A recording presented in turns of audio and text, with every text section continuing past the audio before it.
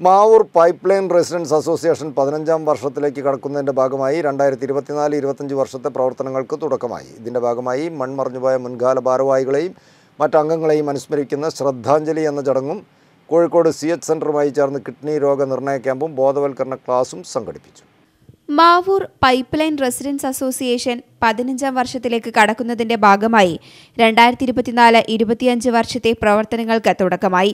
ഇതിന്റെ ഭാഗമായി മൺമറഞ്ഞുപോയ മുൻകാല ഭാരവാഹികളെയും മറ്റ് അംഗങ്ങളെയും അനുസ്മരിക്കുന്ന ശ്രദ്ധാഞ്ജലി എന്ന ചടങ്ങും കോഴിക്കോട് സി എച്ച് സെന്ററുമായി ചേർന്ന് കിഡ്നി രോഗനിർണയ ക്യാമ്പും ബോധവൽക്കരണ ക്ലാസും സംഘടിപ്പിച്ചു. മാവൂർ പഞ്ചായത്ത് പ്രസിഡന്റ് വാസന്തി വിജയൻ പരിപാടി ഉദ്ഘാടനം ചെയ്തു. ചടങ്ങിൽ പാർവതി കെ ബി ശ്രദ്ധാഞ്ജലി അർപ്പിച്ചു. അസോസിയേഷൻ പ്രസിഡന്റ് സക്കറിയ ഇത്തിപ്പറമ്പിൽ അധ്യക്ഷത വഹിച്ചു. C H centre secretary O Hussain പദ്ധതി വിശദീകരണം നടത്തി. ഉസൈൻ ചെറുതുരുത്തി കിഡ്നി രോഗത്തെപ്പറ്റി ബോധവൽക്കരണ ക്ലാസ് നടത്തി. ക്യാമ്പിൽ ഇരുന്നൂറ്റി പേർ പങ്കെടുത്തു. Sister Maria Ahammed Kutty Vishalakshi Vishalakshi teacher association secretary K Ramachandran തുടങ്ങിയവർ സംബന്ധിച്ചു.